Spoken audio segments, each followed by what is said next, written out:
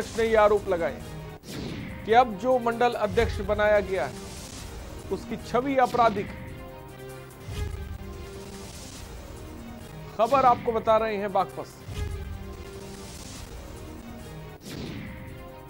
संबल से खबर है, बीजेपी में बगावत के नवनियुक्त मंडल अध्यक्ष का आरोप है, आपराधिक छवि वाले को मंडल अध्यक्ष बनाया गया है। पूर्व मंडल अध्यक्ष ने आरोप लगाए।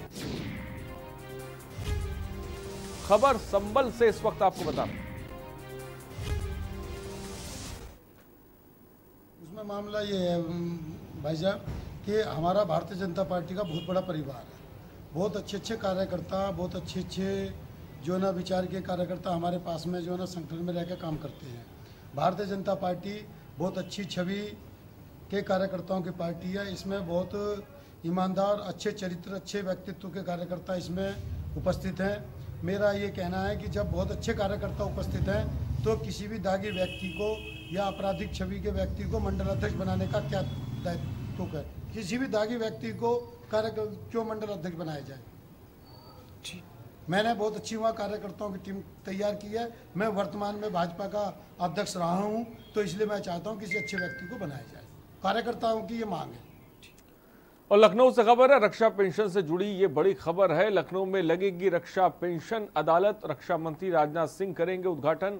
23 नवंबर को पेंशन अदालत का आयोजन और एएमसी स्टेडियम में होगा आयोजन। भूतपूर्व सैनिक विधवाओं की पेंशन से जुड़े मामलों की इसमें सुनवाई होगी और पेंशन संबंधी मामलों की तुरंत सुनवाई होगी। पेंशन अदालत में विभाग, विभागों के अधिकारी भी मौजूद रहेंगे।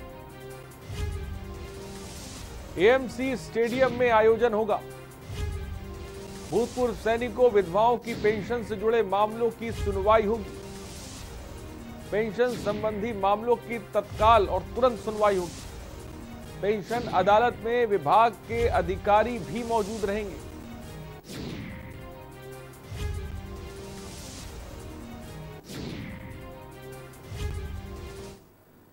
और गाजियाबाद से खबर है, पुलिस को मिली लक्ष्मी